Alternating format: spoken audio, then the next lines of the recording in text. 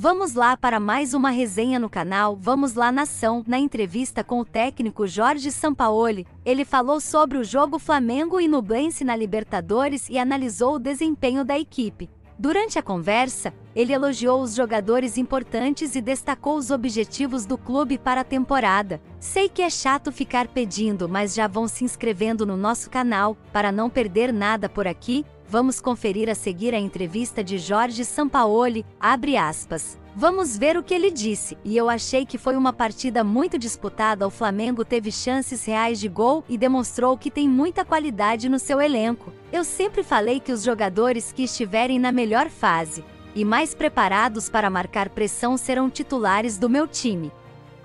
É assim que eu gosto de jogar em relação aos privilégios para jogadores mais velhos. Todos os jogadores terão que trabalhar duro para conquistar seu espaço e estarão sujeitos às mesmas regras e exigências. O importante é que todos estejam comprometidos com o projeto e dispostos a fazer o seu melhor em campo. Eu acho que é sempre importante buscar a vitória. Gostei da partida do Flamengo, mas ainda acredito que podemos melhorar muito para nos tornarmos um time imbatível e precisamos continuar.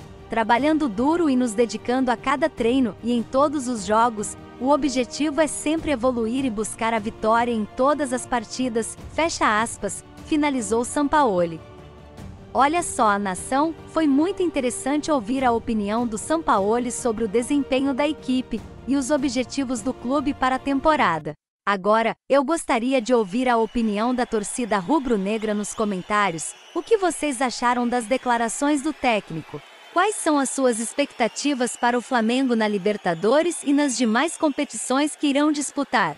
Obrigado pela audiência, e já vamos deixar também para você outro vídeo na tela, com outra notícia quentinha para vocês. Agradeço pela audiência e trarei qualquer novidade em primeira mão. Se quiserem entrar no grupo do WhatsApp para trocar uma ideia sobre o Mengão, vou deixar o link na descrição do vídeo. Para vocês, um beijo da Soraya.